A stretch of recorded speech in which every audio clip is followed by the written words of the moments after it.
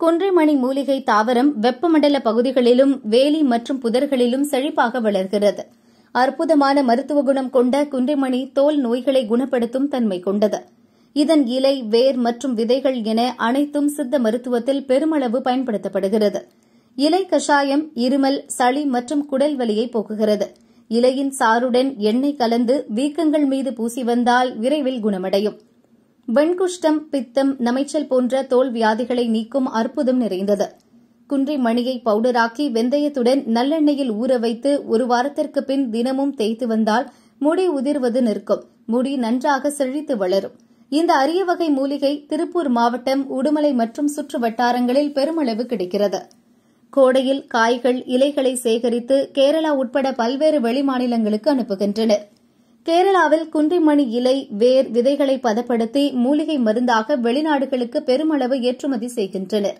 இதன் மூலம் கேரள சித்த மருத்துவ நிறுவனங்கள் நல்ல லாபம் ஈட்டி வருகின்றன.